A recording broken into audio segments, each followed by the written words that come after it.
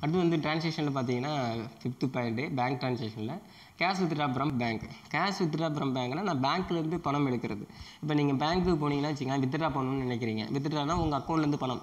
இப்போ தான் உங்களுக்கு ஏடிஎம் கார்டு இருக்குது நீங்கள் எங்கே வேணாலும் போய் எல்லா பேங்க் ஏடிஎம்லேயும் நீங்கள் போய் எடுத்துக்கலாம். ஒரு பே கார்டாக இருந்தாலும் சரி டெபிட் கார்டு ஏதோ மாஸ்டர் கார்டு எது வேணாலும் சரி உங்களுக்கு எங்கே வேணாலும் பணம் எடுத்துக்கலாம். இப்போ அதுக்கு முன்னாடிலாம் ஏடிஎம் கார்டு இல்லாதப்பெல்லாம் என்ன செய்வீங்க? பேங்க்கில் தான் போய் பணம் எடுக்கணும். அப்போ பேங்க்கில் போனோடனே என்ன செய்வாங்க? அங்கே பெயின் ஸ்லிப்பு செல்லான் ஒன்று இருக்கும். அந்த செல்லான் ஃபில் பண்ணி எவ்வளவு பணம் எடுக்க போகிறீங்க என்ன அக்கௌண்ட் நம்பர் இதெல்லாம் கொடுப்பாங்க. அதை வெரிஃபை பண்ணிவிட்டு உங்கள் அக்கௌண்ட்டில் பணம் இருந்ததுன்னா அவங்க கேஷ் கவுண்டரில் பணம் கொடுத்துருவாங்க. அதுதான் கேஷ் வித்ரா ஃப்ரம் பேங்க்லேருந்து பணம் எடுக்கிறது. அடுத்தது பார்த்தீங்கன்னா bank charges levied by the bank அப்போது பேங்க் வந்து நமக்கு வந்து ஒரு சோஷியல் சர்வீஸ் பண்ணி கொடுத்தாலும் சர்வீஸ் மைண்டாக இருந்தாலும் சில ட்ரா சில இதுக்கு வந்து பார்த்திங்கன்னா சர்வீஸ் பிடிப்பாங்க. அதாவது அமௌண்ட் பிடிப்பாங்க. இப்போது நீங்கள் அக்கௌண்ட் கண்டினியூவாக உங்களுடைய பேலன்ஸ் அமௌண்ட் அதிகமாக கரெக்டாக வச்சுருக்கீங்க மினிமம் பேலன்ஸ் கரெக்டாக வச்சுருக்கீங்கன்னா உங்களுக்கு சம் அமௌண்ட்டு உங்களுக்கு இன் அதாவது இன்ட்ரெஸ்ட் போடுவாங்க. அடுத்து வந்து பார்த்திங்கன்னா உங்கள் அக்கௌண்ட் மெயின்டைன் பண்ணுறதுக்காக சம் அலொகேஷன் சார்ஜஸ் பிடிப்பாங்க.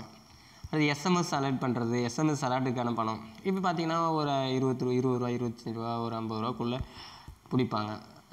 நீங்கள் நெட் பேங்கிங் அப்படி இருந்ததுன்னா ஒரு நூறுரூவா அப்படி பிடிப்பாங்க. இது என்னென்னா இது சர்வீஸ் பண்ணுறதுக்காக சில அமௌண்ட்டு எடுப்பாங்க. அதிகமாகவும் இருக்காது. அப்போது பேங்க்கும் என்ன செய்வாங்க? சில அமௌண்ட்டு இப்போ நம்ம ஏதாவது ஆன்லைன் பர்ச்சேஸ் பண்ணோம்னா நமக்கு கிரெடிட் ஆகும். அதே சமயத்தில் பார்த்தீங்கன்னா அவங்க வியாபாரிகள் அதாவது பார்த்திங்கன்னா பிஸ்னஸ் மேன் அவங்க இந்த கார்டு மூலியமாக எடுக்கிறாங்கல்ல அவங்களுக்கு சில கமிஷன்ஸ் வந்து பேங்க்கிட்டேருந்து இவங்கள்ட்டேருந்து எடுத்துப்பாங்க. சம் அமௌண்ட்டு கமிஷன் எடுத்துப்பாங்க. இதுமாரி பேங்க் சார்ஜஸ் வந்து பண்ணுவாங்க. அது பார்த்தீங்கன்னா payment made by the bank as per standing instruction அப்போது ஸ்டாண்டிங் இன்ஸ்ட்ரக்ஷன்னா என்னென்னா ஒரு விஷயத்த வந்து தொடர்ந்து செஞ்சுக்கிட்டு இருக்குது தான். இப்போ என்னென்னா இப்போ நான் மாதம் மாதம் போய் லீவு கட்டணும். இப்போ நான் பஜாஜில் போய் லோன் வாங்குறேன்னு வச்சுக்கோங்க. இல்லை நான் ஐஓபியில் பேங்க் லோன் பர்சனல் லோன் வாங்குறேன் ஆர் வெஹிக்கிள் லோன் வாங்குறேன். எது எனிவே எது வேணாலும் வாங்கலாம். வாங்கும்பொழுது நான் வந்து மோடு பேமெண்ட் மோடுங்கிறது வந்து எப்படி நான் மந்த்லி கட்டணும்.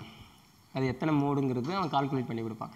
அப்போ என்னுடைய அக்கௌண்ட்டில் மாதம் மாதம் எடுக்கணுங்கிறது நான் ஃபஸ்ட்டு ரைட்ஸ் கொடுக்கணும். யாருக்கு? பேங்கருக்கு அப்போ நான் போயிட்டு ஒரு லெட்டர் செய்ய லெட்டர் கொடுத்து என்னுடைய அக்கௌண்ட்டில் மாதம் மாதம் இவ்வளவு பணம் எடுத்துக்கங்க அதுக்கு ஒரு ஃபார்ம் ஒன்று ஃபில் பண்ணி கொடுப்பாங்க அப்போது நீங்கள் எங்கே பர்ச்சேஸ் பண்ணாலும் அந்த அந்த ஃப்ரான்ச்காரங்க அந்த ஃபார்ம் ஃபில் பண்ணி வாங்கிட்டு அவங்கள்ட்ட அப்ளை பண்ணிப்பாங்க. இப்போ இது ஸ்டாண்டிங் இன்ஸ்ட்ரக்ஷன் இப்போ நான் எல்ஐசி கட்டினா எல்ஐசி அதேமாரி பண்ணுறது அப்போ ஸ்டாண்டிங் இன்ஸ்ட்ரக்ஷன் நம்ம அக்கௌண்ட்டில் அவன் மாதம் மாதம் எடுத்துப்பான்.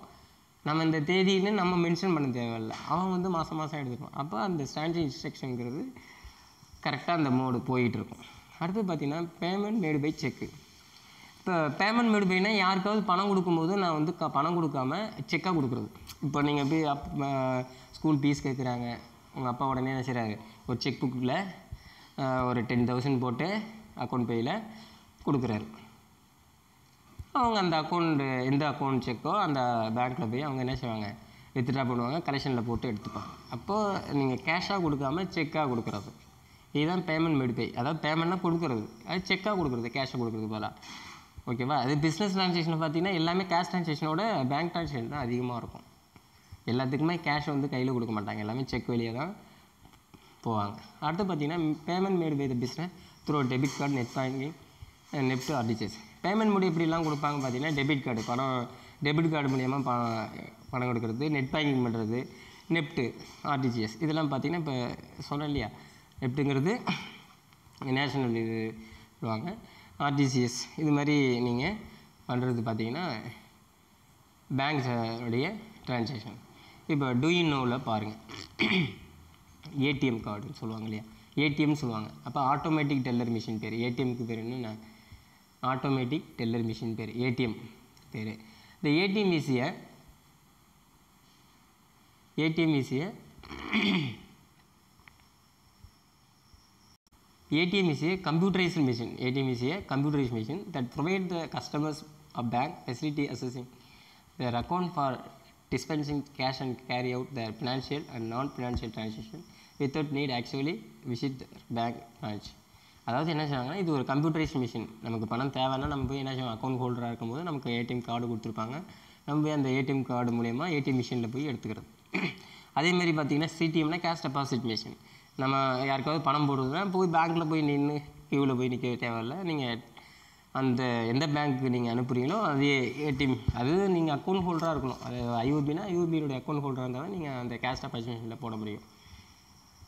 ஓகேவா இல்லை வேறு யாருக்காவது அனுப்பும்போது அவங்க எஸ்பிஐ இருக்காங்கன்னா எஸ்பிஐயில் போயிட்டு நீங்கள் அவங்க அக்கௌண்ட்டுக்கு போட்டு கொடுக்கலாம். போட்டு விடலாம். இப்போ இது cash deposit machine is an ATM machine that allow the deposit cash directly. Customer account with it may manual interview bank employee there is no full deposit இப்போ நீங்கள் என்ன ட்ரான்சாக்ஷன் எடுக்கணும்னா அது மேனுவல் அங்கே அவங்க கம்ப்யூட்டரில் என்ட்ரி ஆகிடும் ஓகேவா இது எல்லாமே பார்த்தீங்கன்னா மிஷின் மூலியமாக ஏடிஎம் மிஷின் மூலிமா கேஷ் டெபாசிட் பண்ணுறது இது எல்லாமே அங்கே பேங்க் அது இன்ஃபர்மேஷன் போயிடும். இதெல்லாம் முக்கியமான ஒரு கொஷின்ஸ் இதெல்லாம் இதெல்லாம் முக்கியமாக படிச்சிங்க. வாட் இஸ் ஏடிஎம்னு கேட்பாங்க. கேஷ் டெபாசிட் மிஷின் என்னங்கிறது இதெல்லாம் கேட்பாங்க. இதை நீங்கள் படிச்சிங்க. அடுத்து வந்து பார்த்தீங்கன்னா டெபிட் கார்டுனா என்ன? கிரெடிட் கார்டுனா என்னன்னு கேட்டிருக்காங்க. இப்போ டெபிட் கார்டுங்கிறது என்னென்னா பற்றுக்கு நிகராக வரவு இருக்கும். அதாவது பார்த்தீங்கன்னா நம்ம அக்கௌண்ட்டில் பத்தாயிரரூபா பணம் இருந்தால் பத்தாயிரரூபா நம்ம எடுத்துக்கலாம். அதுக்கு தான் ரைட்ஸ் அதான் டெபிட் கார்டுங்கிறது இப்போ நீங்கள் என்ன பணம் வச்சுருக்கீங்களோ அந்த பணத்தை நீங்கள் எடுக்கலாம். இப்போ the debit card are used to withdraw cash from and ATM ATM கார்டுலேருந்து நீங்கள் ஏடிஎம்லேருந்து போய் நீங்கள் பணம் எடுத்துக்கலாம். To purchase goods and service at point of sales நீங்கள் பர்ச்சேஸ் குட்ஸ் சேல்ஸ் பண்ணலாம்.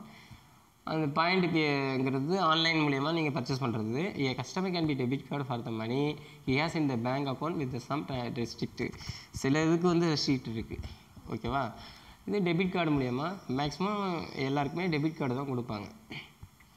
அடுத்து பார்த்தீங்கன்னா கிரெடிட் கார்டு இந்த credit card use purchase goods and service point of sale and e commerce online purchase பண்ணுறது an customer can use credit card within the limit bank even the inadequate balance in the amount. The bank may charge interest and other charges in the credit card usage.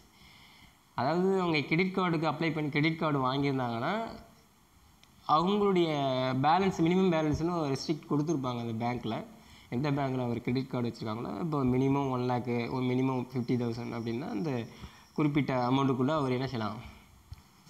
பொருளை வாங்கிக்கலாம் பணத்தை எடுத்துக்கலாம். திரும்ப அவர் என்ன செய்யணும்? அந்த அமௌண்ட்டை போட்டுருவோம் சர்டன் இன்ட்ரெஸ்ட் அவங்க கலெக்ட் பண்ணிப்பாங்க அந்த பேங்க்கில் ஓகேவா அடுத்து பார்த்தீங்கன்னா நெப்ட்டு ஆர்டிசிஎஸ் இப்போ நெப்டுனா என்ன? ஆர்டிசிஎஸ் என்னென்னு எக்ஸ்பிளைன் பண்ணேன் இப்போ நெப்ட்டுங்கிறது என்னென்னா நேஷனல் எலக்ட்ரானிக் ஃபண்ட் ட்ரான்ஸ்ஃபர்னு சொல்கிறாங்க இப்போ நெப்ட் மூலியமாக பார்த்தீங்கன்னா ஒரு அக்கௌண்ட்லேருந்து இன்னொரு அக்கௌண்ட்டுக்கு மாற்றுறதுக்கு இதுதான் நெப்ட்டுன்னு சொல்லுவாங்க. அதாவது என்ன சொல்கிறேன்னா wide payment system facility one to one fund transfer ஒரு இதுலேருந்து இன்னொருத்தவங்களுக்கு ஃபண்டு ட்ரான்ஸ்ஃபர் பண்ணுறது அது ஃபண்டுங்கிறது பணமாக இருக்கலாம். Under the scheme any person can electronic transfer யார் வேணாலும் எலக்ட்ரானிக் ட்ரான்ஸ்ஃபர் மூலயமா fund from any bank branch to any person having in account with any other bank branches in country நாட்டில் உள்ள எங்கே வேணாலும் கண்ட்ரியில் யாருக்கு வேணாலும் எந்த அமௌண்ட்டை வேணாலும் அனுப்பலாம். இது நெஃப்டில் ஆர்டிஜிஎஸ்ங்கிறது இந்த acronym RTGS stands for real time gross settlement பேர். Which can be define the continuous real time settlement fund transfer individually and and order by order base அதாவது இண்டிவிஜுவலாங்கிறது ஒரு அக்கௌண்ட்டில் அனுப்பலாம். அதே சமயத்தில் பார்த்தீங்கன்னா ஒரு அக்கௌண்ட்டில் இன்னொரு அக்கௌண்ட் இன்னொரு பேங்க் அனுப்பும்போது தான் ரெஸ்ட்ரிக்ட் ஆகும். அப்போ அந்த ஆர்டிசிஎஸ் மூலயமா நம்ம பணம் அனுப்புறது தான் டீட்டெயில்ஸ் ஆல்ரெடி நான் சொல்லியிருக்கேன். ஆர்டிசிஎஸ்க்குள்ள ஒரு லிமிட் இருக்குது உடனே ஆர்டிசிஎஸ்ங்கிறது உடனே அனுப்பிடலாம். குறைஞ்சது பார்த்திங்கன்னா ரெண்டு லட்சம் தான் அனுப்ப முடியும். அதுக்கு மேலே அனுப்ப முடியாது. ஒரு நாளைக்கு. ரெண்டு லட்சத்துக்கு பார்த்தீங்கன்னா முப்பது ரூபா கட்டணம். இதெல்லாம் சொல்லியிருக்கேன். ஓகேவா? அடுத்து பார்த்தீங்கன்னா கிரெடிட் ட்ரான்சாக்ஷன் இப்போ கிரெடிட் ட்ரான்சாக்ஷனுங்கிறது பார்த்திங்கன்னா உடனே கேஷ் பேமெண்ட் பண்ணாமல் அப்புறமா கொடுக்கறது தான் என்னது கிரெடிட் ட்ரான்சாக்ஷன் அதான் when settlement is not made by cash through bank immediately in can in a a it is called credit credit அதாவது பார்த்தீங்கன்னா கேஷாக கொடுக்காம not made cash or through bank அது கேஷாவோ செக்காவோ உடனே கொடுக்காம but the amount to be settle with specific period ஒரு குறிப்பிட்ட காலத்திற்கு நாங்கள் பிறகு தரேன். இன்னும் சொல்கிறது தான் கிரெடிட் ட்ரான்சாக்ஷன் சொல்கிறாங்க for example purchase goods for credit for three thousand ஒரு மூவாயிரம் ரூபாய்க்கு ஒரு பொருளை வாங்கியிருக்கீங்க. இந்த கேஸ் குட்ஸாக போகிறது three thousand hmm in the business and liability of creditor work three three thousand arise அப்போ மூவாயிரம் ரூபாய்க்கு நீங்கள் பொருள் வாங்கியிருக்கீங்கன்னா நீங்கள் என்ன என்ன செஞ்சிட்டீங்க? டெப்டாஸ் ஆகிடுறீங்க கிரெடிட்டார்ஸுக்கு நீங்கள் என்ன கொடுக்கணும்? த்ரீ தௌசண்ட் பணம் கொடுக்கணும். ஓகேவா? அவ்வளோதான் இதை பாருங்கள் கணக்கு போடும்போது ஒவ்வொரு கணக்கு போடும்போது உங்களுக்கு நல்லா புரிய வரும். அடுத்தது பா பார்க்கணும்